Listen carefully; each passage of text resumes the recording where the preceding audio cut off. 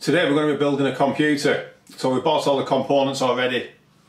So we've got a case which is a, a Cooler Master uh, 222 HAF which stands for high airflow and uh, we're going to build all the components up and put them all in this case and when it's finished it should be a, a pretty powerful computer because we have got quite a good processor and a, a fair bit of memory. So before we start, I'm just going to show you what components we've actually got to start off with.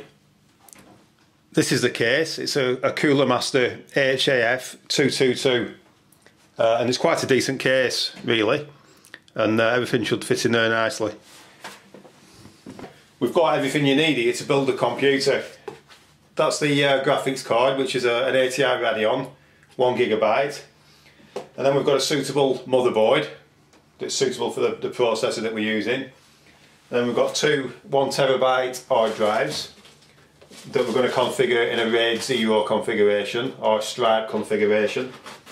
And then we've got 700 watt power supply. And then we've got a, a DVD burner. And then we've got some memory. The operating system. And the processor and cooling fan. Everything's in this box that we need. So now we've got everything together and I've opened everything and checked it's all there. We're now going to start to build the computer. Although I'm not going to put this on just yet, you should really put one of these on when you're working with electrical components that are delicate like a, a motherboard or anything. It's an anti-static wristband. So that bit there just fits on your wrist and then that part there plugs into an electrical socket. As you can see the live and neutral are plastic but you've just got the actual earth pin there so you are actually earthed. So you, there's less chance of any static damaging any of the components that you're going to be using. So later on I will be using this. It's a good idea to use one.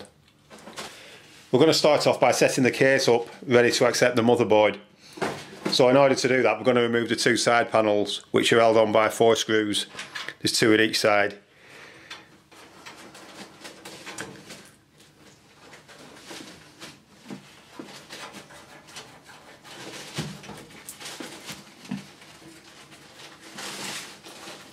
When you've removed the screws, you can just pull the side panel off by pulling it backwards.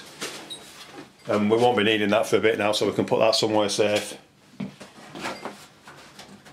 Same with that side.